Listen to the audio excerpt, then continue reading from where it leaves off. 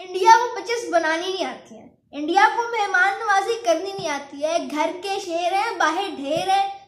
Wickets इनको बनानी नहीं आती है। सिर्फ़ अपने घर में परफॉर्मेंस है इनकी। बात करेंगे आपके साथ कि अब काफ़ी लोग कह रहे हैं कि इंडिया में एक वर्स्ट पिचेस और ऐसी इंडिया करता है। तो बात करेंगे आपके साथ। Aslam welcome back to sports YouTube channel. अभी तक जो अहमदाबाद मुटेया स्टेडियम का टेस्ट मैच था, उसकी पिच जो है ना टॉक ऑफ़ द टाउन है। मैंने कहा कि इस पिच के बारे में कि यू नो ऐसे आपको एक आधा मैच चाहिए होता है, जिसमें आप दो दिन में जल्दी जल्दी सारा कुछ हो रहा हो इंटरेस्टिंग हो। लेकिन मैंने ये हरगिज नहीं कहा था कि पिच बहुत अच्छी बनाई गई है और ऐसी पिचेस बननी चाहिए। मेरे ख्याल से ऐसी पिचेस बननी नहीं चाहिए। बट यू नो ये नहीं कह सकते कि आप बोरिंग सा मैच था ये। इस मैच को देखने का मज़ा नहीं आया। और ये नहीं कह सकते कि इंग्लैंड के साथ जाती थी। क्यों? इंग्लैंड स्पिनर्स बनाए हमने मना किया इंग्लैंड को। जब इंडिया इंग्लैंड जाए, जब पाकिस्तान इंग्लैंड जाए, वहाँ पे फास्ट फास्ट बॉलिंग विकेट्स बनती हैं। उस पर कुछ नहीं है। Nothing wrong on that but अगर इंडिया स्पिनिंग विकेट्स बना ले, और जिस ग्राउंड में पिछले 12 साल से मैच नहीं हुआ है उस ग्राउंड पे अगर एक दफ़ा पहले मैच में ऐसी विकेट बन गई है तो वही 12 साल के बाद एक पिच बनी है उधर। ये भी आपने समझ है ना 12 साल if I am not wrong इतनी 10 साल तो हो गए अहमदाबाद में इस, इस ग्राउंड में मैच हुए तो इतना तो आपको क्यूरेटर्स को भी मार्जिन देना चाहिए ना। मतलब कि अगर अंडरस्टैंड दैट कि आप करना क्या चाह रहे हैं कि आप इंडिया को कह रहे हैं कि इंडिया विकेट सी ऐसे बनाती है। यहाँ पे तो हो गया ना कि दोनों के लिए इक्वल मैच था और इंग्लैंड में ऐसा होता है पर्थ में ऐसा होता है ऑस्ट्रेलिया ऐसा करता है कि अपने घर में लाके हर बंदा एडवांटेज लेता है उसमें कुछ गलत नहीं है। आप एडवांटेज ऐसे दें कि टॉस उनको देते कि यार टीम टॉस जो अवे टीम है, वो टॉस जीत के, वो टॉस ऑटोमेटिक जीते और वो डिसाइड करें हमने बैटिंग करनी है कि हमने बॉलिंग करनी है।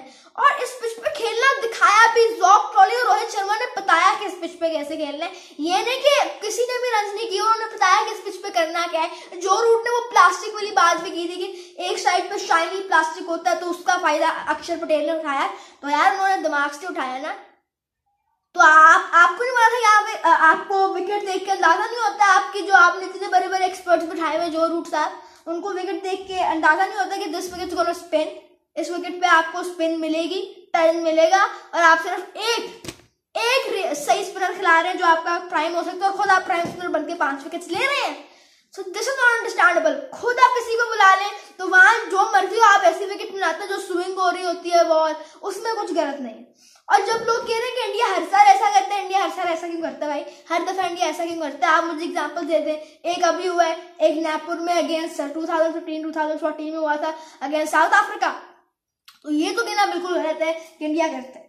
हाँ और जो लोग कह रहे हैं कि इंडिया घर में अच्छा खेलता है, बाहर जाके इंडिया से कुछ नहीं होता है, उन लोगों के लिए सिंपल सा एक आंसर है।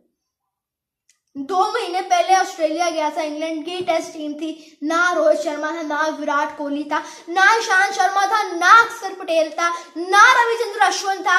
इंडिया की सी टीम ने ऑस्ट्रेलिया की ए टीम को हराया था। वो याद नहीं आता आप लोगों को जो आप कह रहे हैं कि इंडिया घर में ऐसे करते हैं। बट और फिर कहते हैं कि इंडिया को तमीज नहीं है पिचेस बनाने की।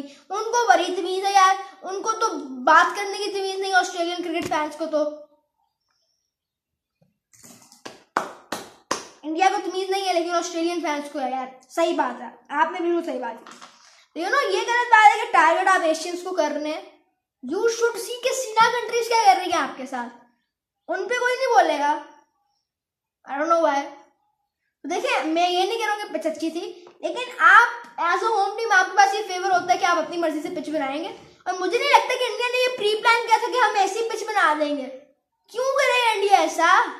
इंडिया जो ऑस्ट्रेलिया को ऑस्ट्रेलिया में हरा के आ रहा है, उसने क्यों करने है? ऐसा मुझे तो आप, मुझे आप समझाएँ। अगर आपको वीडियो पसंद आएगी वीडियो पसंद चैनल को सब्सक्राइब करें, वीडियो को लाइक करें, बेल आइकन प्रेस करें। आपसे मिलूँगा अगली वीडियो में, तब तक के लिए अल्लाह हाफिज़ बाय